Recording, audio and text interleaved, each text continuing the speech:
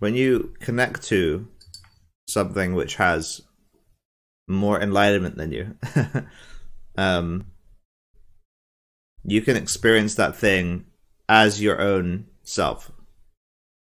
So you connect to a being which has more enlightenment than you, and then you experience that energy in your body.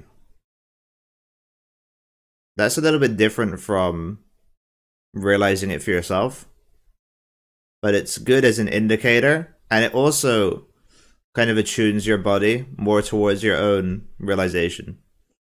And I think any kind of study, like continual study of a being in any form, through like literature or through like videos, is an, an attempt to align yourself back to what you really are.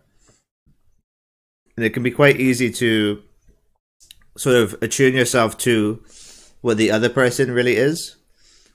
Um, and then think that that's kind of like the end goal when really the end goal is to attune is to use their